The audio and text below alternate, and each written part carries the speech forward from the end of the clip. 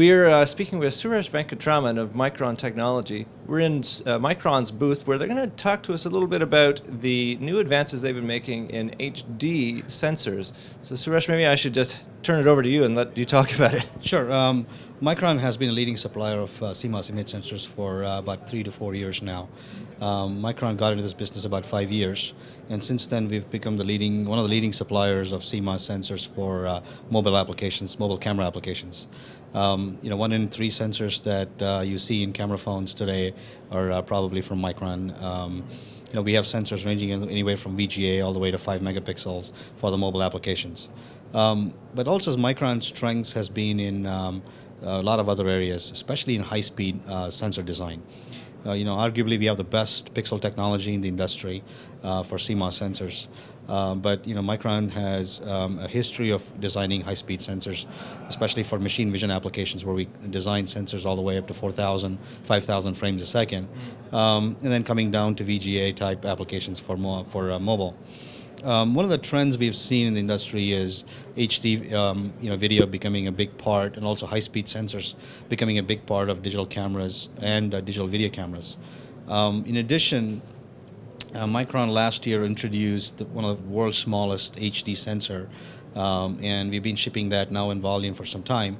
Um, and we're taking advantage of that and seeing um, applications like YouTube driving HD video a lot more and you know people's uh, video screens either at home on HD TV or on the computer monitor are becoming high definition. Some of them are more than high definition screens, and people are expecting to see uh, fairly good quality video on their um, on their uh, screens.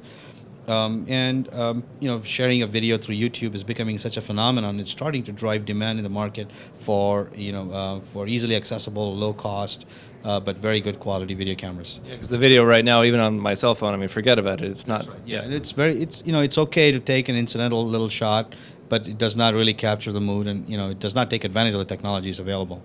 Um, and some of the digital cameras are starting to do you know HD video, although they're not true HD video. They're like you know 720p but 15 frames per second, but not quite 30 or 60 frames per second. Um, and uh, so there is definitely a gap there. And I, what Micron did was to work with some of our partners to create a really nice uh, reference design that you can create true HD video uh, out of this device uh, coming out of your pocket. Um, one of the one of the things that people you know or college kids or school kids um, or people are going on vacation is they want to have cameras in their pockets, not worried about you know losing it or banging it around, um, but expect good quality of video out of it. Um, but it takes a lot of technology for for us to make this happen. Um, first of all, the sensor has to be really tiny. Otherwise, the lens becomes big. The whole camera systems becomes very big. So we've, you know, some have used our best pixel technology uh, to create uh, one of the world's smallest HD sensor. And uh, we worked with uh, some, some of our interesting partners that also consolidate the rest of the system into a single device, uh, silicon device. In this case, it's Ambarella. Um, so essentially, you know, you can create a little camera like this that has our sensor, a processing device, memory, and then just flash, and you can capture HD video. Um, and the idea behind this is we have created a reference design uh, you know, with all the software, everything ready to go, that manufacturers can take and add some value by you know interesting LCDs or throwing on a better lens on it, um, throwing on more flash, and you know bringing it to market. And we hope to get this reference design um, out to these guys in, you know in a couple of months, uh, essentially in Q2 of this year. And hopefully by the end of the year, you have see products um, like this in the market. So these will be handheld, portable HD recorders. That's right. You can pretty much put it in your pocket and you can take it in with you. Yeah, right.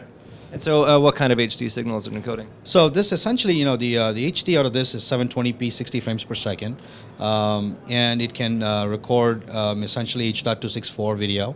Can do MPEG formats as well, but H.264 being the latest and greatest, and is supported now by QuickTime and uh, you know Media Player, Adobe Flash Player. So it's you know essentially you can get this off, put it on your computer, and play it. Um, some of the websites now, you know, there are a couple of websites now that also support uploading HD video for sharing as well. So you can upload it there and look at it too. Okay. And so, uh, do you think maybe there'd be a move to actually integrate this technology into regular DSCs, uh, digital still cameras? Sure, absolutely. Like I was saying, a lot of the digital cameras are just playing with video now. Yeah. Um, but essentially, you know, we are definitely looking at bringing this to the market. We've been very successful with our five megapixel sensor, um, especially on the low end that can do HD video. There have been some very interesting products in the market that have been reviewed. Um, we definitely expect to bring full HD video to the DSC type product, going to eight, nine, and 10 megapixel.